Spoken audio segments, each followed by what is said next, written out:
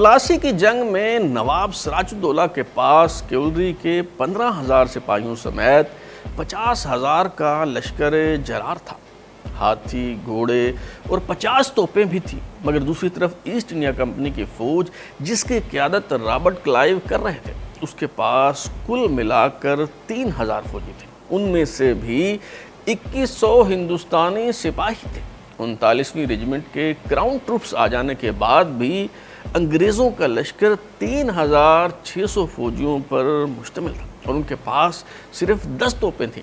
मगर ये छोटी सी फौज नवाब सराजुद्दौला के बहुत बड़े लश्कर को शिकस्त देने में कैसे कामयाब हुई? सराजुद्दौला के जर्नेल मीर जाफ़र की गद्दारी ही इस इबरतनाक शिकस्त की वजह थी या कुछ और इसबाब भी थे। सराजुद्दौला वाकई एक बहादुर, अजीम और गैरतमंद हुक्मरान थे या फिर हमारे यहाँ उसकी हिकायत को बढ़ा चढ़ा कर पेश किया गया। आज हम तारीख की वर्कगर्दानी करते हुए यही जानने की कोशिश करेंगे। इस सिलसिले की दूसरी किस्त के साथ मैं हूँ बिलाल गोरी और आप देख रहे हैं एम बी जी स्पीक्स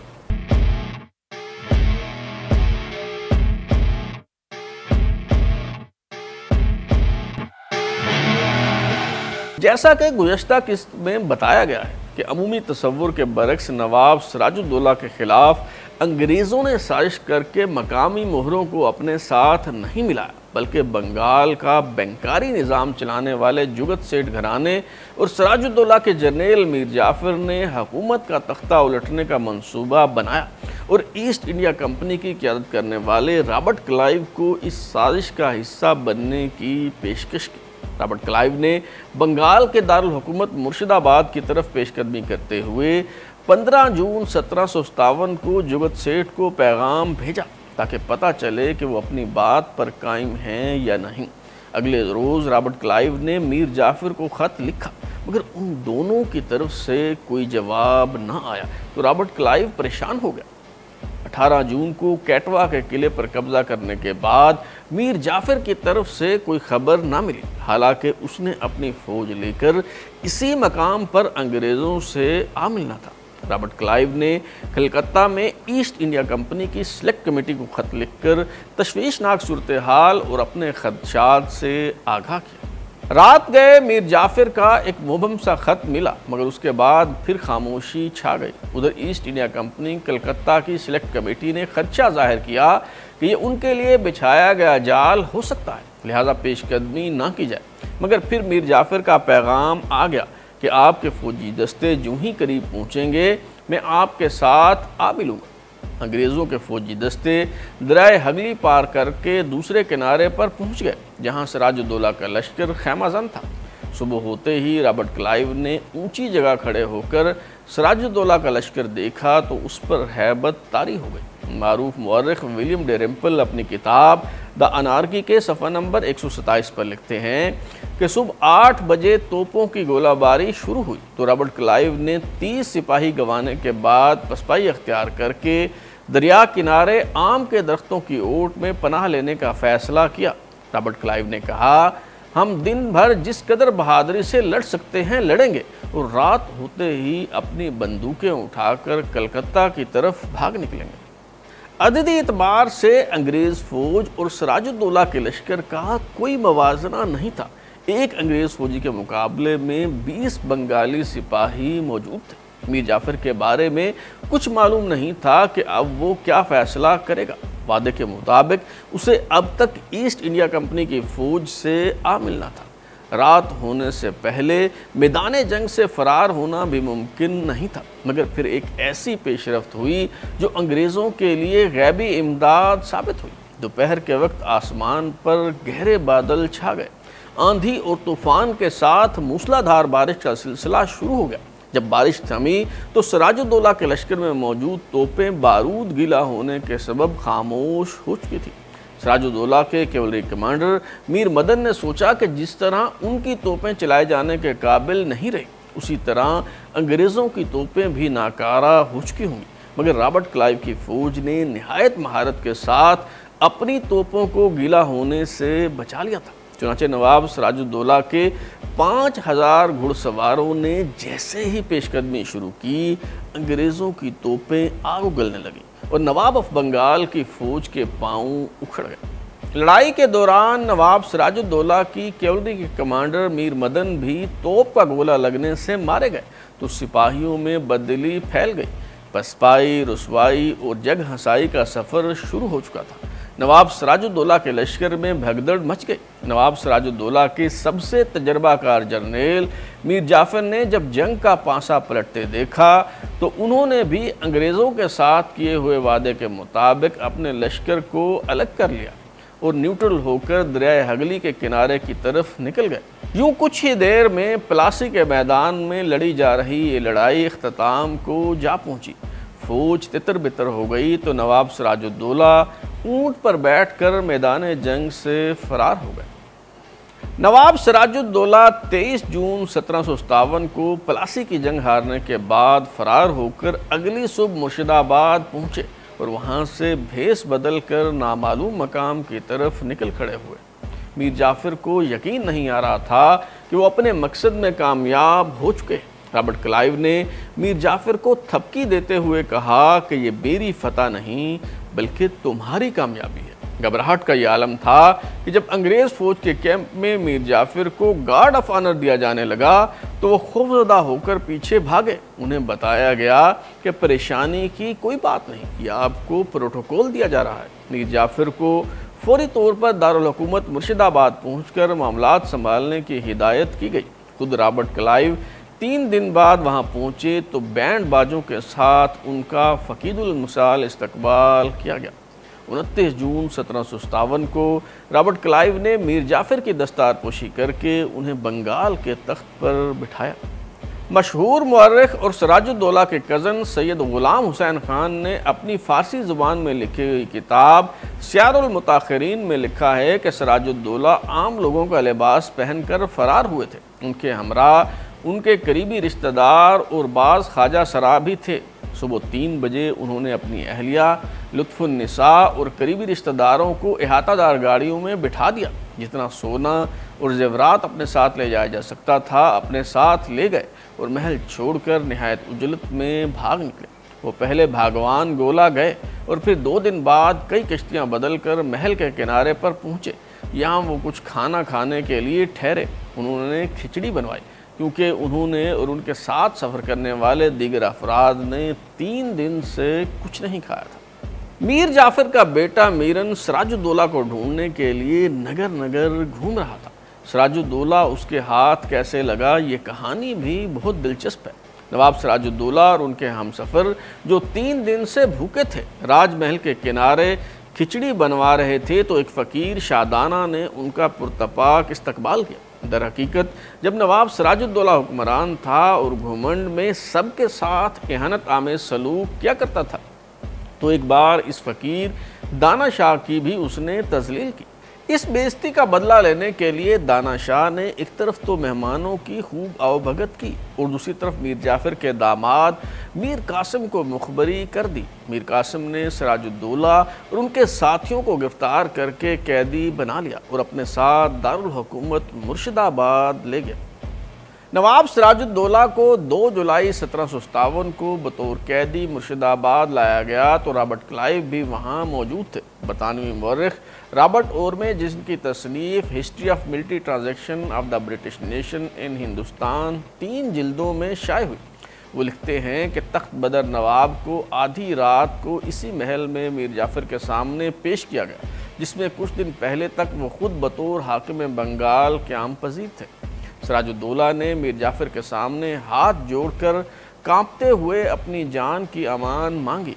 इस दौरान मीर जाफ़र अपने दरबारियों और अहलकारों से मशरा करते रहे कि सराजुद्दौला के साथ क्या सलूक किया जाए। उसके पास तीन मुतबादल रास्ते थे। या तो सराजुद्दौला को मुर्शिदाबाद में कैद कर दिया जाए या मुल्क से बाहर कैद किया जाए या फिर उन्हें सजाए मौत दे दी जाए। अमूमी तस्वर और रिवायात के बरक्स इस मौका पर सराजुद्दौला ने जरूरतमंदी से हालात का सामना करने के बजाय ज़िंदगी की भीख मांगना शुरू कर दी। और बीर जाफिर से इल्तजा की कि उसे किसी कोने में बाकी मानदा ज़िंदगी गुमनामी में गुजारने की इजाज़त दे दी जाए। मीर जाफिर के बाज़ दरबारियों ने मशवरा दिया कि सराजुद्दौला को जेल में ज़िंदा रखना चाहिए। लेकिन मीर जाफिर का सत्रह साल बेटा मीरन इस हक में ना था। उसका ख्याल था कि नक्शे कोहन मिटा दिया जाए। इससे कबल वो अली वर्दी खान के पूरे ख़ानदान को ठिकाने लगा चुका था। हुक्मरान ख़ानदान की सत्तर बेगमात को एक कश्ती में ले जाकर दरियाए हगली में डबो दिया गया। कुछ खवतिन को जहर देकर मार दिया गया। मीर जाफ़र का बेटा मीरन चाहता था कि मुस्तकबिल में बगावत का अमकान बाकी ना रहे। मीर जाफ़र ने खामोशी इख्तियार कर ली और फैसला अपने बेटे पर छोड़ दिया। भारतीय मुसनफ़ संदीप चक्रवर्ती ने अपनी किताब Plassey, the battle that change the course of Indian history में लिखा है कि मीरन ने अपने वालिद की खामोशी को उनकी रजामंदी समझा। उसने अपने वालिद से कहा कि आप आराम करें, मैं इनको संभाल लूँगा। मीर जाफ़र ने समझा कि कोई तशद नहीं होगा। उन्होंने देर रात तक लगने वाले अपने दरबार को बंद किया और अपने कमरे में सोने के लिए चले गए। सैयद ग़ुलाम हुसैन ख़ान फ़ारसी ज़बान में लिखी गई किताब शारमताखरीन में लिखते हैं कि मीरन ने अपने एक साथी मोहम्मदी बेग, जिसका दूसरा नाम लाल मोहम्मद भी था, उसे सराजुद्दौला को मारने का हुक्म दिया। जब मीरन अपने साथियों के साथ सराजुद्दौला के पास पहुँचा तो उसे अंदाज़ा हुआ कि उसके साथ क्या होने वाला है। उसने इल्तजा की कि उसे मारने से पहले वज़ू करने और नमाज़ पढ़ने की इजाज़त दी जाए। अपना काम जल्द ख़त्म करने के लिए कातलों ने सराज के सर पर पानी से भरा बर्तन उड़ेल दिया। जब सराजुद्दौला को एहसास हुआ कि उन्हें सकून से वज़ू नहीं करने दिया जाएगा तो उन्होंने कहा कि मुझे पीने के लिए पानी दिया जाए। मगर पानी पिलाने के बजाय मोहम्मदी बेग ने अचानक वार करके सराजुद्दौला को अपने ही खून में नहला दिया। अगले रोज़ सराजुद्दौला की मसकशुदा लाश को हाथी की कमर पर लाद दिया गया और मुर्शिदाबाद की गलियों और बाज़ारों में घुमाया गया। मरखीन इस दरिंदगी और बरबरीत का ज़िक्र करते हुए लिखते हैं कि हाथी के बहावत ने जानबूझकर हुसैन कुली खान के घर के सामने हाथी को रोका। दो साल कबल इसी हुसैन कुली खान को सराजुद्दौला ने कत्ल करवा दिया था। यहाँ पर सराजुद्दौला की लाश से खून के चंद कतरे उसी जगह पर गिरे जहाँ कुली खान का कत्ल किया गया था। नवाब सराजुद्दौला के कमसन भाई, मिर्ज़ा मेहदी को दो तख्तों के दरमियान कुचल कर हलाक कर दिया गया। इस जालबाना फेल का दिफा करते हुए मीरन ने कहा, सांप को कुचलने के बाद उसके बच्चों को छोड़ देना अक्लमंदी नहीं। मारूफ मर्रख विलियम डेरिम्पल अपनी किताब द अनारकी के सफ़ा नंबर 133 पर लिखते हैं कि सिर्फ़ एक औरत की जान बख्शी की गई और वो थी नवाब सराजुद्दौला की बीवी लुत्फुलनिसा जिसकी खूबसूरती के चर्चे थे। मीर जाफिर और उसके बेटे मीरन दोनों ने सराजुद्दौला की बेवा को शादी का पैगाम भिजवाया, मगर उसने इनकार कर दिया। लुत्फुलनिसा ने जवाब दिया कि मैं इससे पहले हाथी की सवारी कर चुकी हूँ तो अब गधे पर क्यों बैठूँ?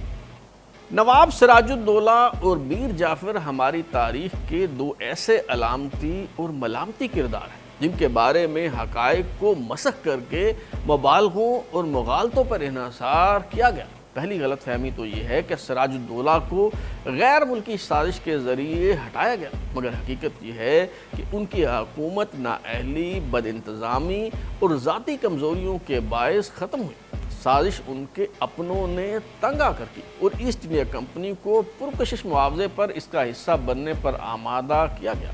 सदर आरिफ अलवी, जो गाहे गाहे अपनी पसंदीदा किताबें पढ़ने की तरगीब देते रहते हैं, उन्होंने 14 फरवरी 2022 को एक वीडियो में सबक गवर्नर जनरल और सदर सिकंदर मिर्ज़ा के बेटे हुमायूं मिर्ज़ा की किताब from Plassey to Pakistan, the family history of Sikandar Mirza, the first president of Pakistan पढ़ने का मशवरा दिया।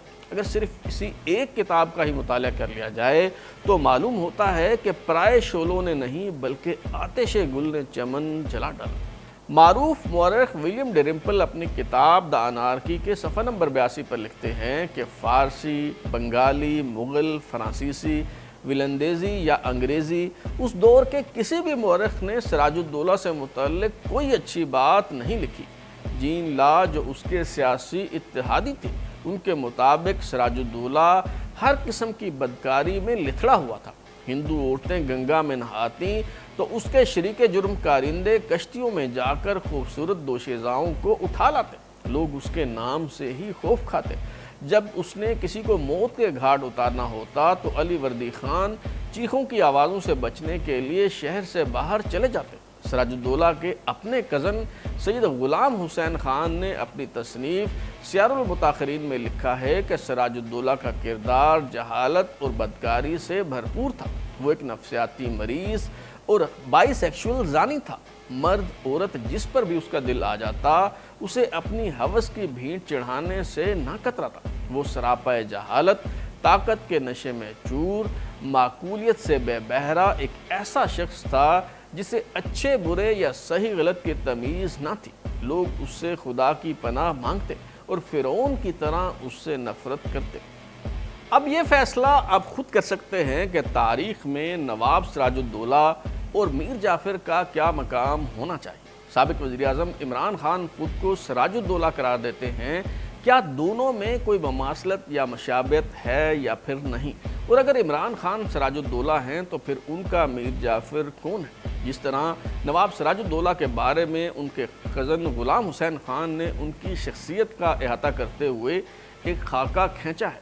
उस तरह का खाका तो इमरान खान के बारे में उनके कज़न ही बना सकते हैं। अब तक के लिए इतना ही। सराजुद्दौला और मीर जाफ़र की कहानी बयान करने का सिलसिला जारी है। सराजुद्दौला की मौत के बाद बंगाल किस हाल को पहुँचा? मीर जाफ़िर और उसके बेटे मीरन का क्या अंजाम? ये मालूम हो सकेगा आइंदा किस्म अगर आप अपनी राय देना चाहते हैं या फिर कोई तजवीज़ तो हमारा WhatsApp number zero double three two eight four one zero five three seven दस्तियाब अपना फीडबैक दें, लाइक करें, सब्सक्राइब करने के बाद बेल यानी घंटी दबाएँ और देखते रहें हमारा चैनल बिलाल हो रही